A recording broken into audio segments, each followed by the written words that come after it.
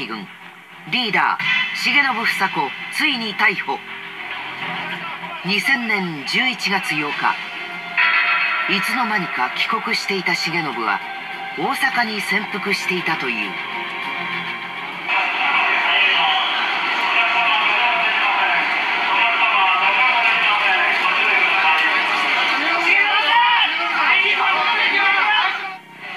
世界革命戦争を歌っていた彼女だが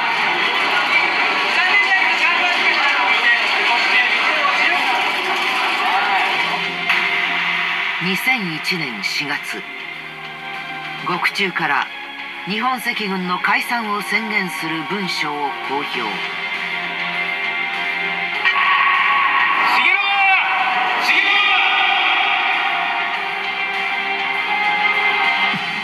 だが現在7名の国際指名手配中のメンバーが逃亡し続けている。